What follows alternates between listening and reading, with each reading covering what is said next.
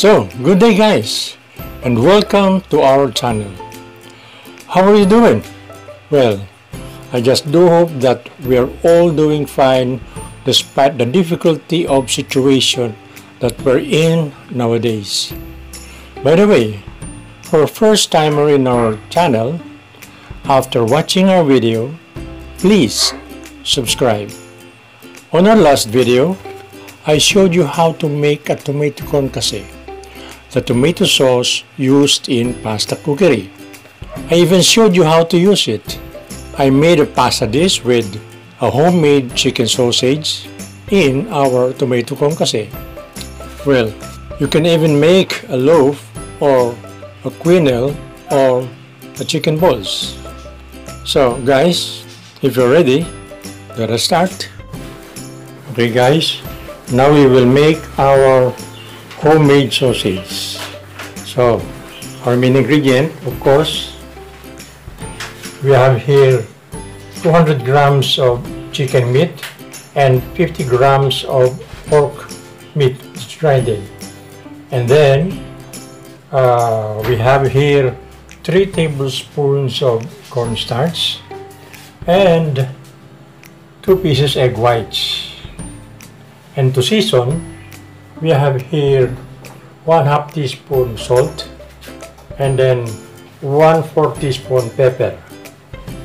And then to add a little bit of color and flavor and uh, healthiness, we will add about uh, uh, 3 tablespoons of chopped malunggay leaves and later on when we will about when we are about to assemble it we will add these chicken cubes. So uh, the chicken cubes is approximately uh, 75 grams. Okay guys? So guys madali lang. Just very easy. You will just have to put everything there in the food processor and then we will start to process it. So we will add first the pork and the chicken and then our egg whites. There you are. And then our cornstarch. And then our malunggay leaves.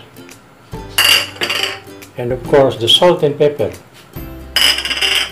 The next we just have to process it okay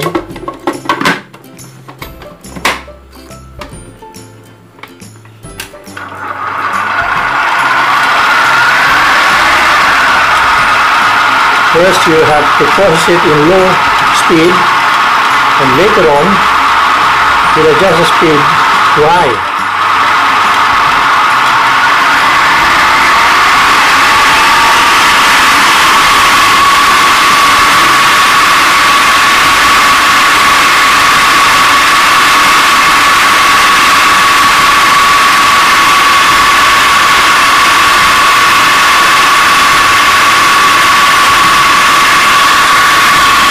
Okay, now, now it's almost smooth and fine.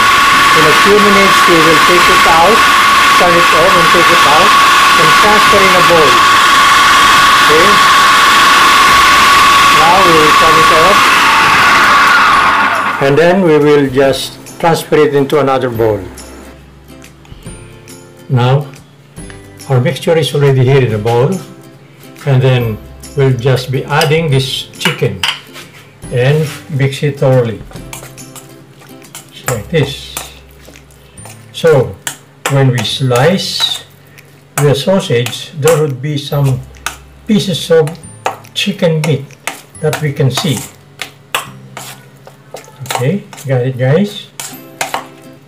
So this is very much similar to the uh, fish farce that we made actually at this stage, this is just what we call farce, chicken farce.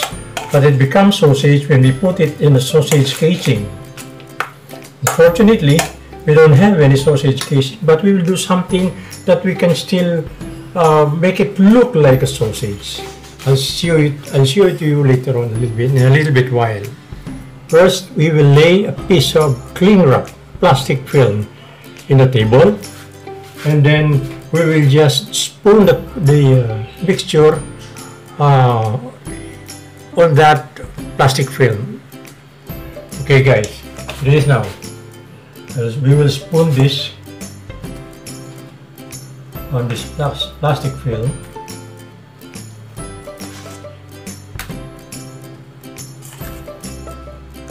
there.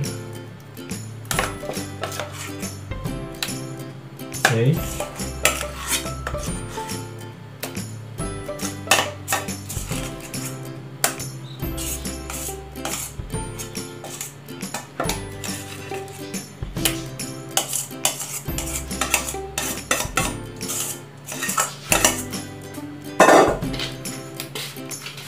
Then we will arrange it nicely.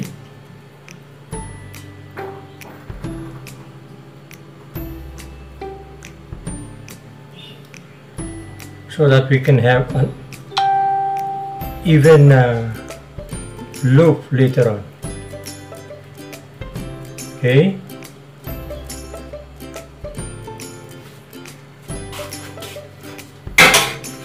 Next we will roll it just like this.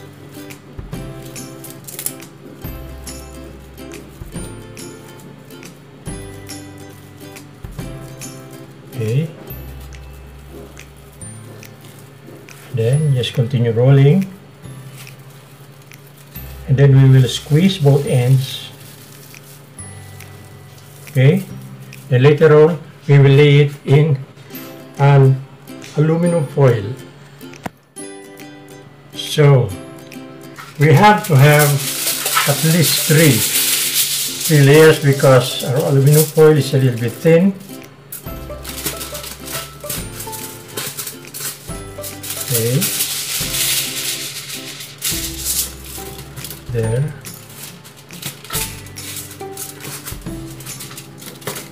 I hope you can follow. And then next is to put this one here and then roll it again. In this aluminum foil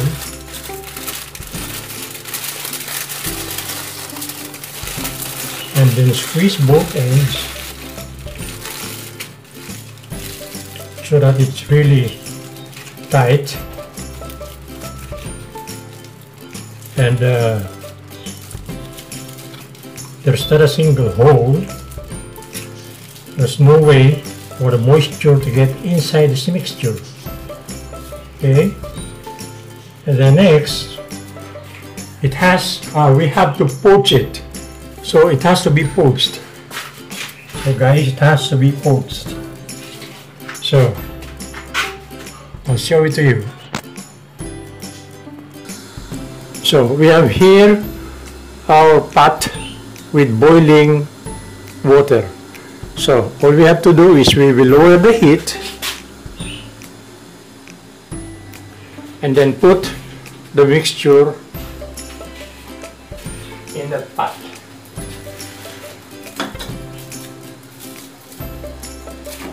There.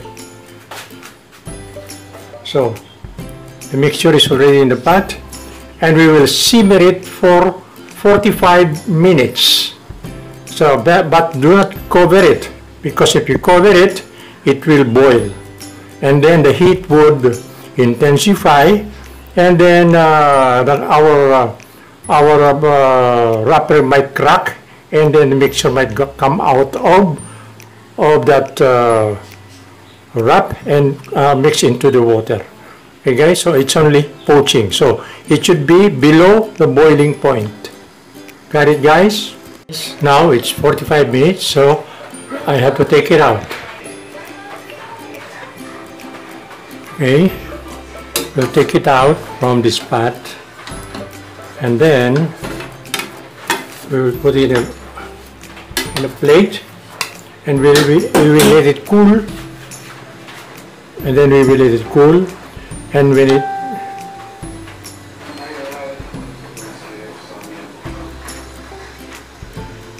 Nice now it's already out of the pot. It's now on the plate. And then we will just let it cool. And when it, it is at cool temperature, we will remove the, uh, the wrap and wrap it again in a, in a cling wrap or plastic film and we will keep it. Now, uh, this sausage or loaf can be used just like on what how I used it in our pasta. I uh, use it as a meat ingredient of my pasta with bechamel sauce. And also, you can use it uh, for the buffet. You can uh, you can you can add uh, brown sauce or, or cream brown sauce or tomato sauce or uh, tomato with cream or bechamel so it's just all up to you so that is uh, the, the beauty of learning cooking the uh, basic way not the recipe way got it guys guys our chicken sausage already done and chilled. Well, I believe I have shown you clearly how a chicken farce is done.